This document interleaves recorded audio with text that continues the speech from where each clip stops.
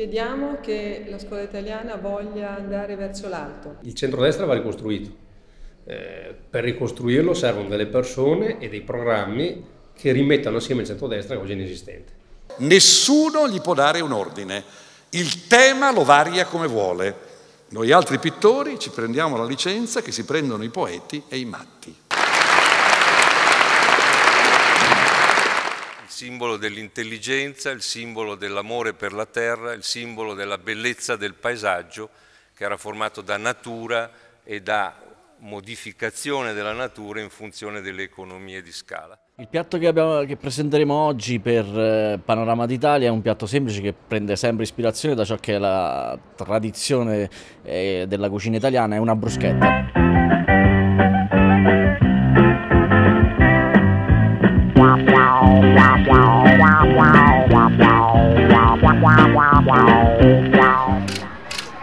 È una poesia, Carmine. Eh,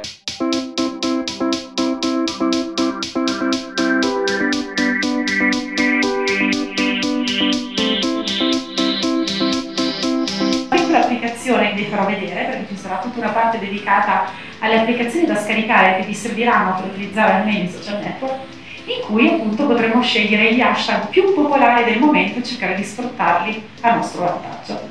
Sono milanese, sono sempre vissuta in questa casa di Milano col cortile, il giardino, con, oltre che con i miei genitori, anche con i nonni. E eh, la prima considerazione che io avevo fatto tornando indietro in quegli anni lì era che sì, la guerra era finita, la guerra che coinvolgeva il mondo, ma nella mia famiglia la guerra fra mia madre e mia nonna continuava come sempre. Sabe un po' dire il suo nome? Eh, Loredana. Grazie. Cognome? Ora Duopolo. Ok, controlliamo subito se ha vinto il telefono, vincita istantanea, quindi appena inseriamo il nome vediamo se ha vinto. Congratulazioni, ha vinto un Nokia, eccolo direttamente a lei, grazie.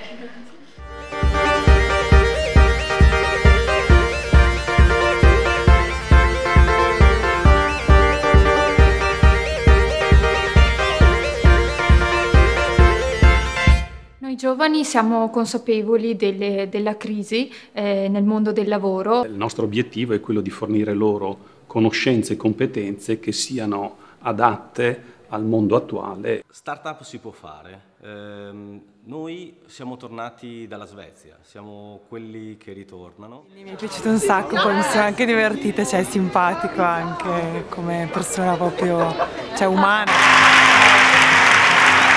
Ho conosciuto una parte di Cesare sicuramente diversa da quella che si vede anche in tv. Buonasera a tutti, ciao! L'enorme, enorme, gigantesca commozione che provo verso una generazione che eh, ogni giorno viene ehm, bastonata. Eh beh, mi hai fatto un bel regalo, giusto? Sì, sì, eh, no, eh, sono contento che sei contenta.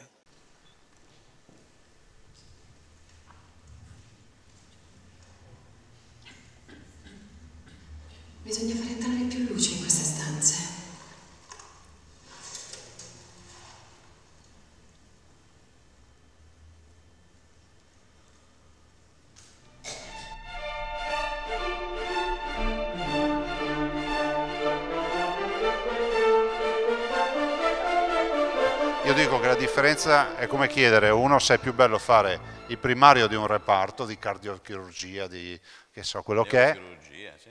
o del pronto soccorso. Ecco, il governatore fa il primario del pronto soccorso. Come nasce l'amicizia tra Katia e... Ma perché deve, stai sul... No, ti piace? No. Vabbè. Voglio, eh, No, eh, beh, ci starei pure io così, sai. Ci Eh. vuole, ci vuole mettere qui? No, perché Non ho capito.